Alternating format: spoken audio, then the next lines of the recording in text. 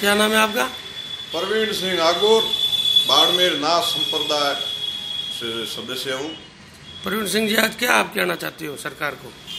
सरकार से यही कहना चाहते हैं अभी जो नई सरकार बनी है महीना हुआ है बीस दिन हुए हैं इसके सामने हमने इनके कार्यकर्ताओं इनके मंत्रियों इनके विधायकों के सामने एक दर्द रखा था कि अभी बाड़मेर ज़िले में 80 प्रतिशत अकाल पड़ा गाँव इस कारण चारे का भाव लगभग 1500 1600 रुपये हो गया।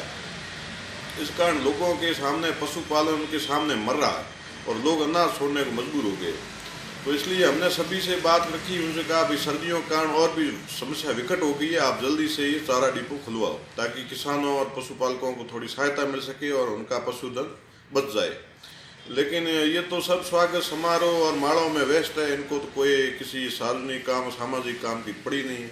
तो इसके लिए कल ना संप्रदाय और सर्व समाज मिलकर एक धरना प्रदर्शन कर रहा और सदबुद्धि यज्ञ आयोजित करेगा ताकि इन विधायकों इन मंत्रियों इन कार्यकर्ताओं को सबको भगवान सदबुद्धि दे और गौ माता के लिए चारा डिपो जल्दी से जल्दी खोले।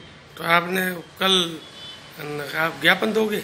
हाँ ज्ञापन देंगे और धरना देंगे और एक दिन का आमरण अनशन और सदबुद्धि यज्ञ करेंगे ताकि इन सभी मंत्रियों विधायकों और इस सरकार को सदबुद्धि दे और गौवंश के लिए कितने गाँव का आपने निरीक्षण किया जहाँ पर पशुधन चारे बिगर मर रहे हैं अब।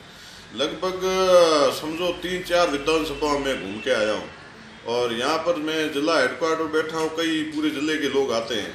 समस्या पूरी भयंकर है बाड़मेर जैसलमेर इधर पूरे जो ये सटे हुए ज़िले हैं इतने में। लेकिन अपन तो यहाँ की मांग अंगे बाड़मेर ज़िले में ही जल्दी से जल्दी कार्रवाई शुरू हो इस बारे नहीं की कार्रवाई जल्दी ये चारे वाली नहीं हुई तो? कल सदबुद्धि यज्ञ कर रहे हैं सभी को भगवान सदबुद्धि दे देगा लगभग।